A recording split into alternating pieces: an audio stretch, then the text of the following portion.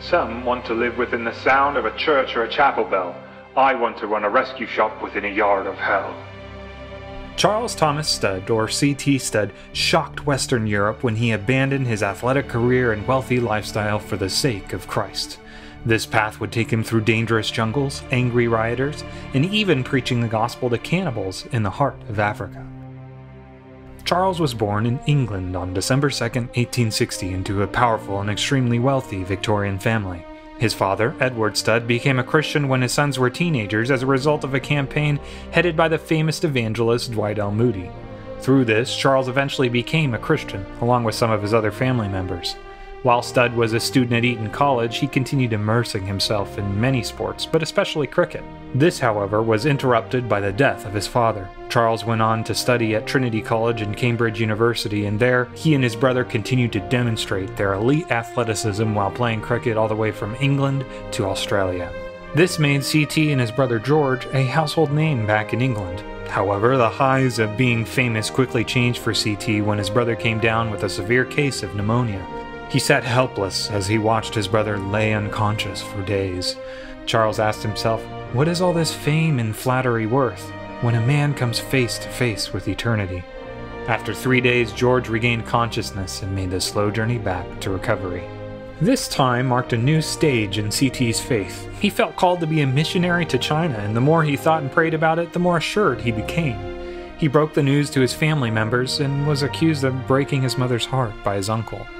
Most around him branded it as foolish nonsense, while other family members got other Christians to tell him that there was so much work to do here in England. One night, his brother Kinney asked him if he was proud of breaking his mother's heart.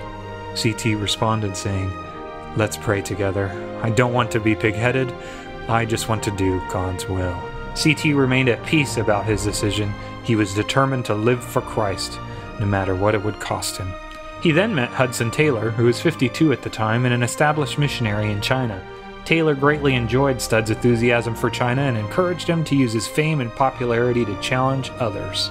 Little did Studd know how much influence he would have. Six more students joined Studd to form a group known as the Cambridge Seven. Hudson Taylor arranged for meetings where the Seven would speak and be greeted by hundreds who wanted to hear why the famous cricketer was giving up everything for the mission field. A booklet containing the testimonies of these seven was published, and it became so well known that even Queen Victoria was found reading it.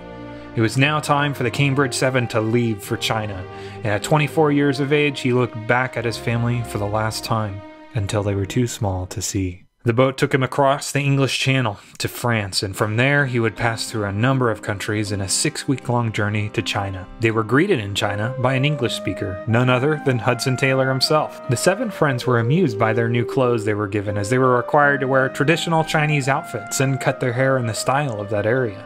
Studd then made the journey to Shanghai and then on to Chinwu, where he turned 25 with no one to celebrate it. A year passed, and he continued to learn the language and minister to the Chinese. And a few weeks after his 26th birthday, Charles received a large letter in the mail.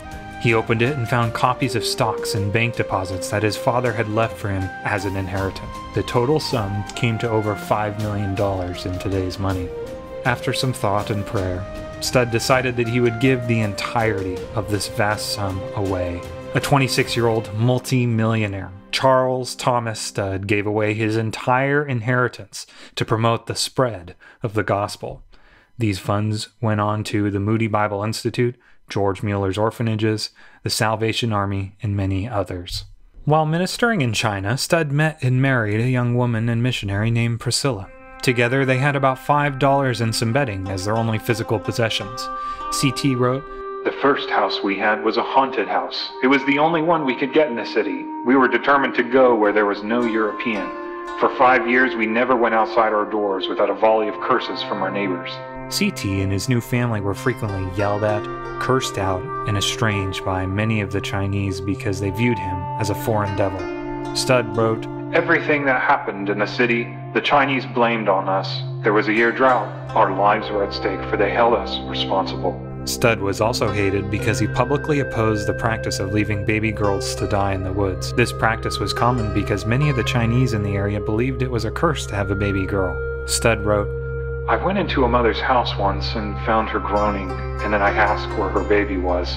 It was born at daylight and immediately was just thrown into the moat or into the pagodas with a certain hole so that the wolves can jump in and get the baby when they want it.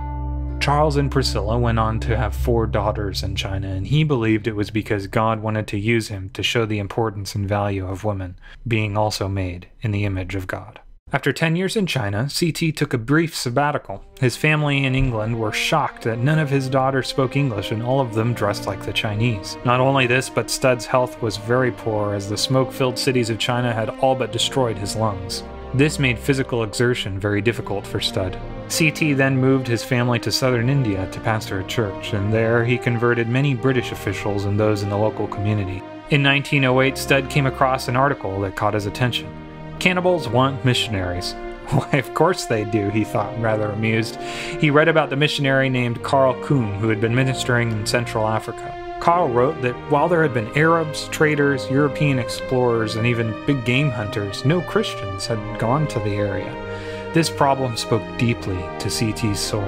From this point, Studd devoted his life to the Christless millions of Africa. Many cautioned him against this, but he would respond, If Jesus Christ be God and died for me, then no sacrifice can be too great for me to make for him.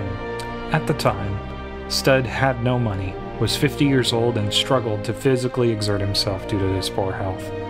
Many of his doctors warned him about going to Africa due to the many dangers to his health that awaited him. After all, there was deadly diseases, pestilence, and nothing but a medical encyclopedia which he carried to help him overcome his sicknesses. Charles would always respond to the concerned doctors with the same answer. The world will have lost its biggest fool, and with one less fool to handicap him, God will do greater wonders still. There shall be no funeral, no tears, not even a death march. Congratulations on all around will take place. Our God will still be alive, and nothing else matters. To die is gain. No doctor would end up approving Studd for the mission field. It was deemed that if he left, he most certainly would not return. During his time in Africa, he had frequent bouts of malaria as well as other sicknesses that brought him close to death. Studd would frequently hold evangelistic meetings and wrote of some of the past that these new believers had. We have some remarkable testimonies. I have done more sin than there is room in my chest. My father killed a man, and I helped eat him. Studd ministered in the Congo for multiple decades and went on to train hundreds of missionaries. On July 16, 1931, CT drifted in and out of consciousness. His gallstones were so severe that his pain increased every day for the past month, that he struggled for every breath and would often only say one word Hallelujah. Studd worked for 20 years amongst the tribes of the Congo and died at the age of 70. Thousands of Africans arrived at his funeral as drums carried the news for hundreds of miles. His preaching impacted thousands, but his legacy affected millions. There is so much more to the story of CT, and if you'd like to learn more, please check out these books that I used to help write the script for this video. I would also encourage you to check out our other video on CT Studd's most famous sermon, The Chocolate Soldier.